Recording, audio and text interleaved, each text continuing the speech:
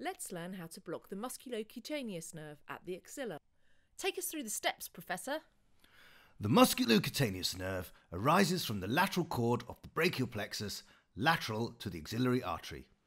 It passes between the two heads of coracobrachialis to run between biceps and brachialis muscles, which it supplies before entering the forearm as the lateral cutaneous nerve of the forearm.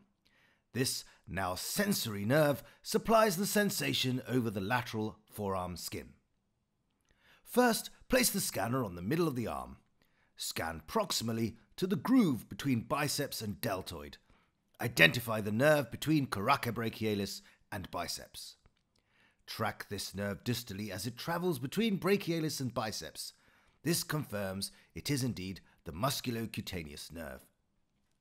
Follow the musculocutaneous nerve proximally back into the interval between biceps and coracobrachialis.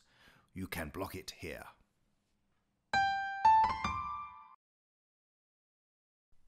Let's reflect.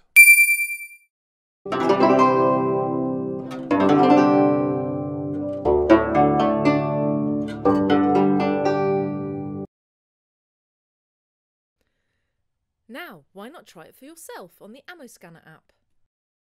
AmoScanner, the ultrasound simulator in your pocket. It's interactive.